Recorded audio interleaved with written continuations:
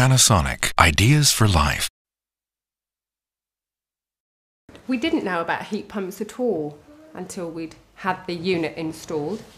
Um, the how we learnt about them was a friend of ours was actually building a house from scratch, and they were taking a huge big eco push.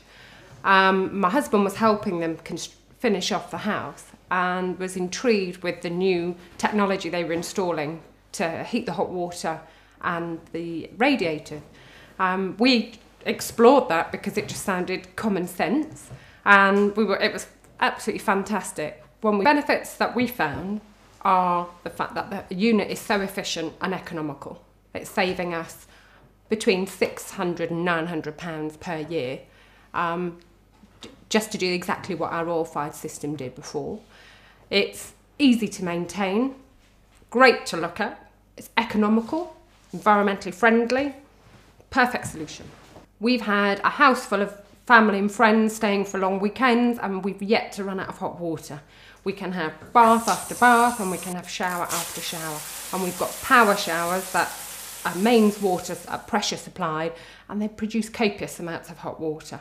The system enables us to control exactly how much energy we're going to use over this course of 12 months and also how we can predict our energy costs. Whereas before, when we had oil, we were at the mercy of the charges that were being imposed upon us by our energy suppliers. There was global conditions and politics going on, and all of a sudden, our energy supplier would shoot the prices up. Now we can fix our tariff, we can shop around and look for an energy supplier who can give us a really, really good, um, a really good price for our, our electricity and I know for 12 months how much it's going to run, how much it's going to cost us to run the home. It's amazing how many people we're talking to these days I, uh, were in the same boat as us. They didn't know anything about it. But hopefully, we're trying to convert people to what is a, a very economical and straightforward and common sense approach to heating their house and hot water.